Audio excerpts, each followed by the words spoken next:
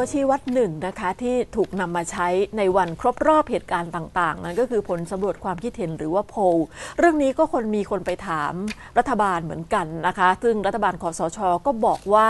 รัฐบาลเนี่ยจะไม่ทำโพลเองครับแต่ว่าจะไปดูผลสำรวจจากโพลต่างๆ ที่ออกมา นะครัคะบแล้วสัปดาห์ที่ผ่านมาก็มีนิด้าโพลใช่ไหมคะที่ออกมาเปิดเผยผลสำรวจความคิดเห็นของประชาชน 2 ปีคสช กับการคืนความสุขให้คนในชาตินะคะ ประมาณ 2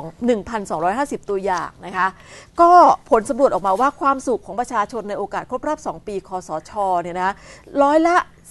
43.28 ระบุว่ามีความสุขเท่าเดิมเพราะไม่มีอะไรเปลี่ยนแปลง ไม่ต่างจากที่ผ่านมาโดยเฉพาะเรื่องเศรษฐกิจและปากท้องที่ยังต้องการให้แก้ไข ครับะแล้วความก็สุขเท่าเดิมฮะเชิญจันจิโร่นะเมื่อกี้ ครับ37.68 บอกว่ามีความสุขเพิ่มขึ้นนะฮะเป็นกลุ่มค่ะ รักความสงบนะฮะ กลุ่มรักความสงบบอกว่าบ้านเมืองตอนนี้สงบเรียบร้อยไม่วุ่นวายไม่มีความขัดแย้งทางการเมืองนะครับ แต่ว่า 18.24 บอกว่ามีความสุขลดลง เพราะว่าอ้าว เศรษฐกิจไม่ดี ข้าวของแพงขึ้นรายรับ ไม่พอรายจ่ายเกษตรกรลำบากราคาผลผลิตทางเกษตรตกต่ำลงซึ่งเมื่อก่อนดีกว่านี้ อะแต่ถ้าวิเคราะห์จากผลนี้อาจารย์จิโรธมันครับ ไม่ใช่เหรอฮะว่า สงสัยเนี่ยฝ่ายที่รู้สึกว่าความสุขลดลงนี่เป็นเสียงข้างน้อยนะ ไม่เนี่ยเพราะว่าถ้าเกิดบอกว่า 2 ปีที่ผ่านมาประชาชนมีความสุขเท่าเดิม ก็ถือว่าการทำงานไม่น่าจะประสบความสำเร็จ เพราะว่าการทำงานยิ่งเดินหน้าประชาชนอ๋อต้องมีความสุขมากขึ้นผมไปคิดว่าถ้าสองเขา ปีความสุขเท่าเดิมมีปัญหาโอเคแล้วผมผมไปคือถ้าผลออกมา 43%เป็นความสุขมากขึ้น อันนี้ค่อยอันนี้อันนี้จะสะท้อนว่าคอสชอาจจะประสบความสำเร็จ ผมไปคิดว่า 43.28%มันเหมือนแบบคนเป็นกลางๆอะ ไม่แต่มันก็คือคนที่บอกว่า คุณทำงานมา 2 ปีชีวิตเราไม่ได้มีอะไรขึ้นดีขึ้น เพราะฉะนั้นจะทำเพื่อ อะไร โอเค เพราะฉะนั้นสองปียังไงมันควรจะดีขึ้นบ้างอ่าแล้วก็แต่ว่าผมก็แปลกใจว่าตัวเลขที่บอกว่าอ่าเศรษฐกิจไม่ดีข้าวของแพงขึ้น ผมคิดว่ามันจะครับ สูงกว่า 18.24%แต่ว่าเขาเทียบอย่างนี้คุณปื้มนิดาโพลเขาเทียบว่าปีที่แล้วเนี่ยเขาสำรวจในช่วงเวลาเดียวกันเนี่ยสัดส่วนคนที่ตอบว่ามีความสุขเพิ่มขึ้นเนี่ยมันลดลงอ๋อนะครับกลุ่มที่คุณปื้มบอกว่ามันมันเยอะเนี่ยนะครับ ฮะ ปีที่แล้วมันอยู่ที่ 49.44 แต่ปีนี้มันหดมาอยู่ที่ 43.28ครับ หายไป 6%ก็แปลว่า 1 ปีบริหารเพิ่มขึ้น 1 ปี คนที่รู้สึกว่าปัญหาไม่มีอะไรดีขึ้นเนี่ยมากขึ้น 6%อันนี้มีเหตุผล เพราะว่าปีที่ 2 มันเหมือนกับว่า คือปีแรกยังไงยังไงความสงบเนี่ยถ้าเทียบกับการชุมนุมมันช่วงเคลิ้มไงใช่มันเคลิ้มอช่วงกปปสพีคเนี่ยพอหลังจากนั้นยังไงมันก็ดีขึ้นอะครับ สงบลงแต่ว่าปีปีที่ 2 มันเริ่มไม่ค่อยมีอะไรไง วันวันเสาร์อาทิตย์นี่มันมีโพยอันหนึงคุณดวงพรฮะของค่ะมหาลัยรังสิตคล้ายๆกันเหมือนกันสำรวจสามปัญหาที่ประชาชนรู้สึกว่าเป็นปัญหามากที่สุดปัญหาแรกคือปัญหาเงินไม่พอใช้ นะครับปัญหาที่ 2 คือความรู้สึกว่าเศรษฐกิจประเทศฝืดเคือง ปัญหาที่ 3 คือราคาสินค้าเกษตรตกต่ค่ะำคือความไม่พอใจหรือความทุกข์ของประชาชนสามเรื่องนี้คือเรื่องเดียวกันหมดเลยคือเรื่องเศรษฐกิจไม่ดี ซึ่งมันเกิดขึ้นในเวลาที่นายกบอกไงว่าเศรษฐกิจไทยแจ๋วที่สุดใน 3 ปีในยุคผม ครับ คราวนี้มันมีปัญหาหนึ่งสำหรับสมมติคุณมี ประเด็นโดยตรงเนี่ยบางทีถ้าคุณเป็นสื่อบางครั้งเนี่ยคุณเกือบตกงานหลายรอบไงครับเพราะว่ามีบางสื่อก็ถูกปิดกั้นเนี่ยอันนี้อันนี้เป็นอีกปัญหาหนึ่งนะครับอันนี้ปัญหาด้านเศรษฐกิจเหมือนกัน แล้วก็แต่ว่าอย่างนี้คอสชเขาจำเป็นไงเขาต้องแถลงผลงานแล้วตกลงคือ 25 พฤษภาคมใช่ไหมคุณตวงพรใช่วันค่ะวันพุธเนี่ยเขาจะออกทีวีแถลงผลงานเลยคือพันเอกปิยพงศ์กลิ่นพันธ์ทีมโกศกคอสชเนี่ย เขาบอกว่า 2 ปีเนี่ยก็คสชเตรียมข้อมูลประชาสัมพันธ์ให้ประชาชนได้รับทราบถึงการเข้าควบคุมอำนาจและบริหารงานคาดว่าจะนำเสนอ 25 พฤษภาคมนี้นะฮะสำหรับรูปแบบการนำเสนอจะเป็นลักษณะค่ะของการสื่อผสม มีพิธีกรดำเนินรายการ มีการนำเสนอเป็นแบบสกู๊ปทำเป็นค่ะรายงานพิเศษ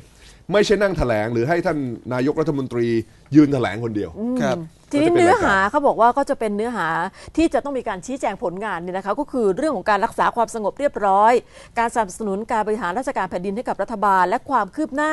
การดำเนินการในกลุ่มงานต่างๆ อย่างเช่น เรื่องของการปราบปรามผู้มีอิทธิพล การแก้ปัญหาความเหลื่อมล้ำการสร้างความปรองดอง เพราะฉะนั้นเนี่ย 18 นาฬิกาหลังเคารพธงชาติเดินหน้าประเทศไทย 25 นี้เป็นต้นไปก็ครับ จะได้ดูการแถลง2ปี ครับพลตรีวีรชนสุคนทปฏิภาคเนี่ยรองโฆษกประจำสำนักนายกเนี่ยเขาก็ให้สัมภาษณ์กับผู้สื่อข่าว BBC ของไทยนะฮะค่ะ BBC ไทยเนี่ยผ่านทาง Facebook Live BBC ไทยในประเด็นสถานการณ์ด้านสิทธิมนุษยชนนะฮะว่าเป็นเรื่องที่มีความสำคัญมีความเปราะบาง แต่ขอว่าอย่าเอาภาพรวมหรือมาตรฐานของที่ใดที่หนึ่งมาใช้ สิทธิมนุษยชนกับกฎหมายค่อนข้างที่จะใกล้เคียงกัน เพียงแต่มีเส้นบางๆ แบ่งอยู่ ซึ่งตนเข้าใจบทบาทของนักสิทธิมนุษยชนและสื่อมวลชน แต่ขอให้ ทั้งสื่อและนักสิทธิมนุษยชนเข้าใจถึงความเปราะบางตรงนี้ด้วยค่ะนี่ไง Facebook Live อ่าแล้วในช่วงนี้ BBC ไทยก็ไปสัมภาษณ์นักวิชาการหลายคนนะนะครับ สัมภาษณ์อดีตอ่าลูกชายอ่าคุณลูกของคุณชาติชายเอ่อคุณไกร สศักดิ์วไกรศักดิ์ชิชินนวัวันนนะไม่ได้เห็นกันนะโอเค คุณไกรศักดิ์ก็ให้สัมภาษณ์แล้วก็มีคนอื่น มีสื่อมีอะไรด้วยค่ะทำเป็นแบบซีรีส์เลยครับค่ะ นอกจากสองปีประเด็นเรื่องสิทธิมนุษยชนแล้วที่เอ่อพลตรีวีรชนพูดถึงเนี่ยนะคะก็ยังพูดถึงประเด็นที่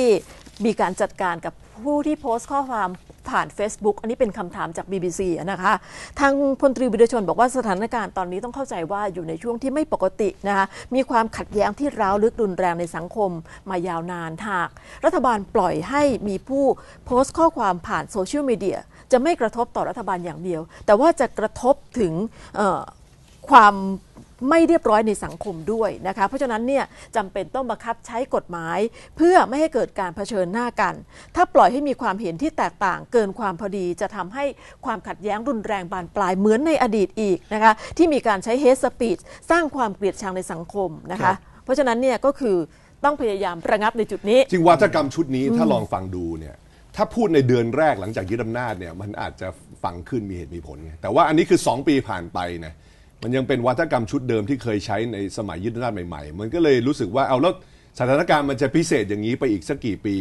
คือผมน่าจะว่าคุมได้แล้วไม่ใช่หรือ คุณวีรชนเนี่ยโชคดีที่ผู้สื่อข่าวของ BBC ภาคภาษาไทยไม่ถามต่อว่า แล้วตอนนี้เนี่ยการใช้ hate speech จากบางกลุ่ม ซึ่งยังมีอยู่เนี่ยนะไม่ว่าจะต่อทูตสหรัฐอเมริกาหรือต่อกลุ่มการเมืองฝ่ายตรงข้ามเนี่ยทำไมไม่ถูกดำเนินคดีในลักษณะเดียวกัน คือถ้าโจทย์ของคุณวีรชนคือบอกว่ามีการจับมีการคุมความเห็นคนในโซเชียลมีเดียเพราะว่าอยากจะควบคุมความเห็นที่แสดงความเกลียดชังเนี่ยค่ะต้องบอกว่าบางกลุ่มในเวลานี้ความเห็นที่แสดงความเกลียดชังก็ยังมีอยู่นะครับแต่ก็ไม่ได้ถูกดำเนินการอะไรนี่คือคำถามไงแล้วก็เข้าใจว่าคุณวีรชนก็คงระวังเรื่องนี้แล้วก็ถามต่อว่าเพราะผู้สื่อข่าวเขาถามต่อนะครับว่ารัฐบาลเนี่ยบังคับใช้กฎหมายอย่างเท่าเทียมกันหรือเปล่านะครับคุณวีรชนบอกว่า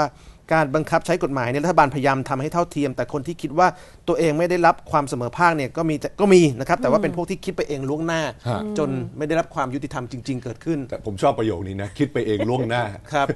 จนจนไม่ได้รับความยุติธรรมเกิดขึ้นน่าตามที่สนใจคาดหวังมากเลยนี่นะครับตามที่คาดหวังคือมโนป่ะพูดสั้นๆคือมเอ่โนอแต่ว่าผมผมเข้าใจหลักการที่พลโทพลตรีวิชนใช้ครับแต่ว่าหลักการเซตเนี้ย